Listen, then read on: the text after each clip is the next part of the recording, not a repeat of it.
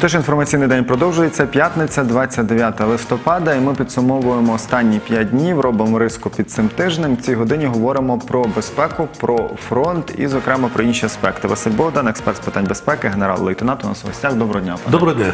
Е, Пане Василю, е, почнемо з теми газу. Чому так? Тому що це безупинно пов'язано з українською безпекою. Йдеться про нові якісь перемовини з Росією. Ми до кінця не розуміємо, які перемовини напередодні у Відні несподівано зустрічалися два міністри українські і російські без посередництва Європейської комісії. Як вважаєте, що зараз відбувається, і чи дійсно влада піде на те, щоб купувати газ напряму у Росії? Виходячи із стратегічного завдання, яке полягає в тому, що треба відродити е, і зберегти українську Україну, а також як демократичну, соціальну і соборну державу, то на цьому шляху надважливе значення має енергетична безпека з огляду ну, історичної традиції, яка склалася в Україні. Певної залежності, а інколи і повної у забезпеченні енергосіями з боку Російської Федерації. Хоча, як на мене, е, в Україні достатньо корисних копалин при належному інвестуванні, розвідці і розробці, що могло б забезпечити практично е, енергоресурсом е, власного виробництва. Але це питання, можливо, якоїсь віддаленої перспективи. Є е, міркування з приводу того, що дехто навмисно гальмує цей процес, щоб діждатися ринку землі і потім уже розпочати цей процес. Але з точки національ... е, зору національної безпеки цим потрібно вже років 10 назад серйозно зайнятися. Що стосується нинішньої ситуації, то е, я думаю, що людям, які хоч більш-менш здатні аналізувати ситуацію з точки зору здорового глузду, зрозуміло, що події 2014 року показали, до чого може дійти Україна, якщо вона буде в повній мірі залежати від Російської Федерації. І головне, якщо вона в повній мірі буде залежати від енергоносіїв, які вона імпортувала раніше із Російської Федерації. І е, слава Богу, як говориться, що за ті 5 років останніх все-таки вдалося реалізувати проекти диверсифікації газу та і нафтопродуктів. І це практично останній рік е, Україна не потребувала російського газу і е, вирішувала це питання через своїх партнерів із Східної, Центральної Європи і все таке інше. І безумовно в умовах, коли Україна перебуває в стані збройної агресії з боку Російської Федерації, е, повертатися до питання імпорту російського газу, російського газу це е, надзвичайно небезпечне явище, як на мене, і воно фактично формує той капітулянський фундамент, який, на жаль, уже проявляється в окремих діях чинної влади, що безумовно недопустимо. Те, що ведуться переговори за участю Єврокомісії з приводу е, нового довгострокового контракту на транзит газу, це безумовно в національних інтересах України. В цьому нас запевнювала Європа, Німеччина, в якійсь мірі Франція, що вони підтримують, зроблять якісь перемовини з Путіним, і цей транзит продовжиться. Але з огляду на те, що закінчується, завершується будівництво Північного потоку 2 Південного потоку. І Росія чітко заявила, що з 1 січня вона припиняє наступного року транзит газу через Україну. Це говорить про те, що е, дійсно цей е, транзит припиниться, і Україна постане перед питанням, яким же чином утримувати свою цю газотранспортну систему, хоча там уже, я так розумію, вживаються відповідні заходи і так далі. Тому транзит це зрозуміло позитивно. От про це теж обов'язково поговоримо. Давайте для також послухаємо про ситуацію на східному фронті, якою вона там є, тому що обстріли продовжуються, і це ми бачили впродовж цього тижня. Що було напередодні? Дивимося прес-конференція Міністерства оборони. От продовжуємо нашу е, розмову в студії. Зокрема, говоримо ми про ситуацію і на східному фронті, про е, взагалі перед кілька днів перед нормандським форматом. Чого варто очікувати від цієї зустрічі? Обов'язково далі розкажемо. Нагадаю, що експерт з питань безпеки, генерал-лейтенант Василь Богдан у нас у гостях. Пане Василю, е, бачимо, що обстріли на фронті продовжуються.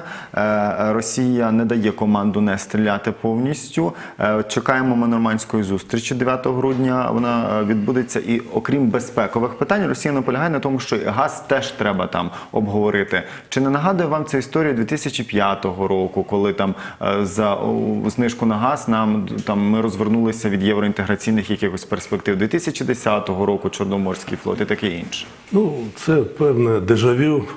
Е, Я вибачаюсь, і воно дуже з таким драматичним і катастрофічним відтінком. Е, Я чомусь впевнений в тому, що на крайні заходи чинна влада не піде в цьому контексті. Тому як би не складалася економічна ситуація, вона, ви знаєте, складається зараз не досить добре. Промислове виробництво впало на 5%. Е, Є проблеми із е, тарифами, є проблеми із зарплатами, є проблеми із пенсіями, їх фінансуванням і все таке інше. Тому є спокуса е, за дешевий, на дешевому російському газу зекономити і потім ці кошти, начебто, передати у ці сфері, щоб залатати ці дірки. Але м, тут досить незрозуміла, як завжди, в діях цієї команди, і суперечлива позиція різних е, діючих осіб. Прем'єр заявляє, ніякого газу російського купувати не будемо. Міністр відповідний енергетики говорить про те, що потрібно, тому що це у нас е, серйозні вивільняються кошти і все таке інше. Президент, як завжди, відмовчується. Суспільство, е, яке усвідомлює ризики і загрози від такої акції, обурене, наростає, наростає хвиля е, протесту, в тому числі і в рамках е, українського року, як я називаю, рух опору капітуляції.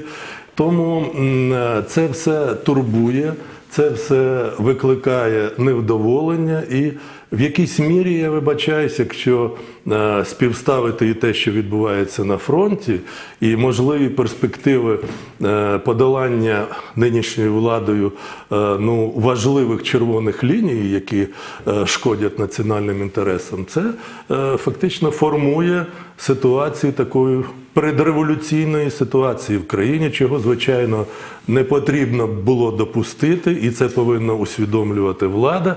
Тому я чомусь е, е, вірю в те, що е, не дивлячись ні на які спроби е, Російської Федерації в ультимативній формі на нормандському форматі схилити Україну до е, рішень і якоїсь угоди, яка буде серйозно шкодити національним інтересам, ну і потужно збурить українське суспільство, е, ну, чинний президент, очевидно, не піде і не повинен би піти. Ну, зрозуміло, що з тими пропозиціями, які е, наша команда виходить на цей нормандський формат, не всі повинні бути знайомі. Є поняття державної таємниці, великих, так сказати, стратегічних державних е, справ. Але тим не менше, я вважаю, що суспільство, основні ключові позиції, елементи е, того, з чим Україна е, буде там е, обговорювати в нормандському формату, до суспільства потрібно було б довести. Тому що треба брати приклад з ворога. Путін тільки почались проблеми з газові, зібрав і Раду національної безпеки і оборони. Тільки треба е, про нормандський поговорити теж. А в Україні чомусь е, всі ці речі якимось чином проводяться досить латентно, приховано. Е, В це, е, я так розумію, посвячені дуже вузьке коло осіб, і що характерно осіб, які ніколи не займалися професійною політикою, професійною дипломатією, практичною економікою. Ну лише так сказати, в рамках 95-го кварталу, але це ж не держава, ви розумієте, і це не міжнародні відносини. Тому е, тиск там може бути. Надія на що? Попри такі от е, суперечливі висловлювання і Макрона стосовно того, що з Росією треба продовжувати діалог, і що головним ворогом є не Китай і Росія, а тероризм це практично корелює те, що говорив Путін, і продовжує говорити. Хоча ми всі прекрасно усвідомлюємо, що нинішня Росія це не тільки джерело, але і донор міжнародного тероризму. Але заспокоює те, що той же Макрон виступає за те, щоб розмістити ракети середньої і малої дальності в Європі, усвідомлює важливість того ж НАТО. І те, що пані Меркель, е, залишаючись, я все-таки вважаю нашим надійним партнером, має свою особисту точку зору і традиційно підтримує Україну. Е, Я сподіваюся, що при умові твердої позиції української сторони наші партнери Німеччина і Франція, ну якщо нас не підтримають, то вони не підтримують Путіна. І нас зрозуміють, і в цій ситуації ми маємо повне право відстоювати свої інтереси як країни, яка стала об'єктом агресії з боку Російської Федерації. Чимало гостей в нашій студії акцентують на тому, що адміністрація президентська, ой, тепер даруйте офіс президента, він буде прискіпливо приглядатися не так до Парижу 9 грудня, я маю на увазі оточення Зеленського, як до Києва 9 грудня і Києва напередодні 9 грудня. Що тут відбуватиметься, які акції будуть, наскільки вони масові? Як ви вважаєте?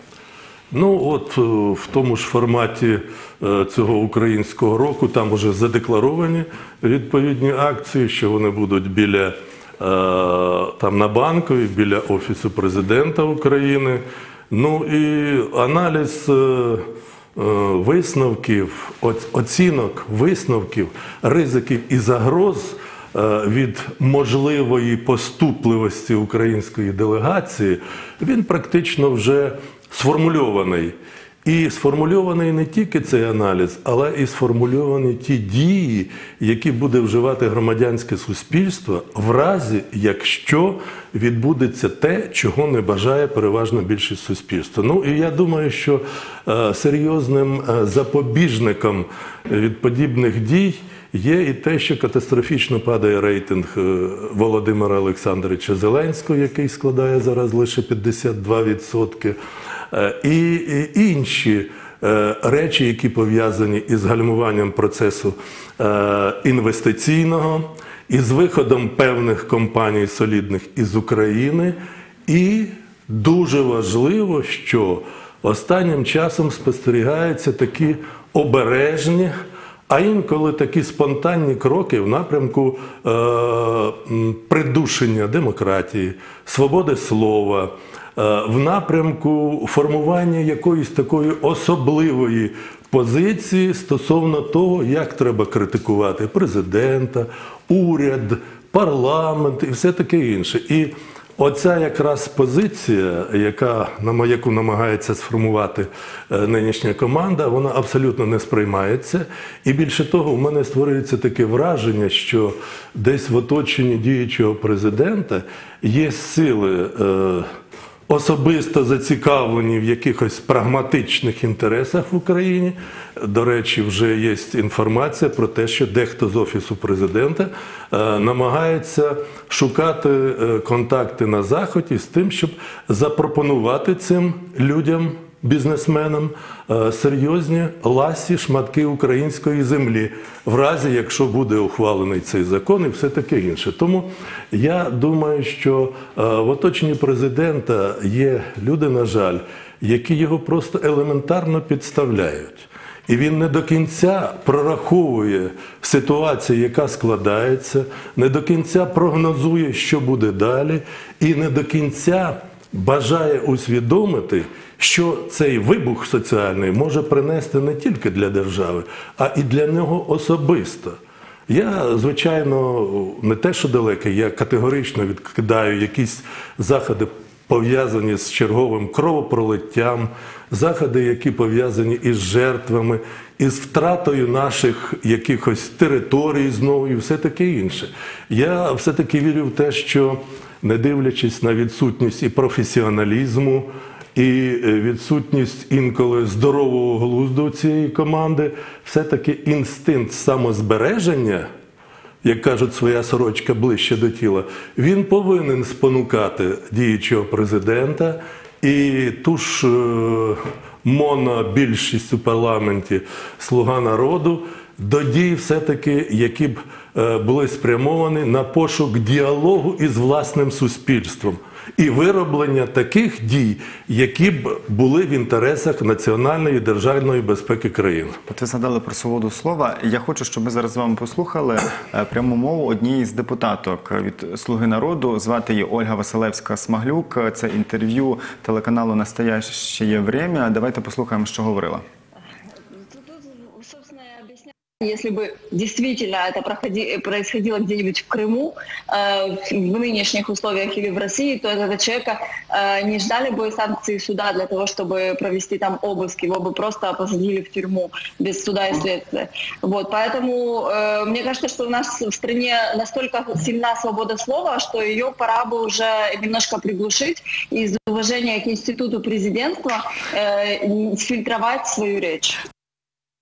Отож, е, депутатка від Слуги народу так е, зреагувала на події, які стосуються двох, е, двох людей. Йдеться про Софію Федину, Так. народну депутатку, і про Марусю Звиробій. Мушу сказати, що таке. Проти них порушено провадження. Знаю. хочуть зняти. Я для глядачів просто нагадую, зняти недоторканність до Звіробій взагалі навідалися з обшуками. От депутатка від Слуги народу говорить про те, що у нас така свобода слова, що треба вже її приглушувати. Це що було у мене питання? Ну, виникає. це, по-перше, говорить про відсутність якого-небудь рівня як політика і державного діяча. Вона, до речі, колишня журналістка. Це ні про що не говорить. На жаль, на жаль.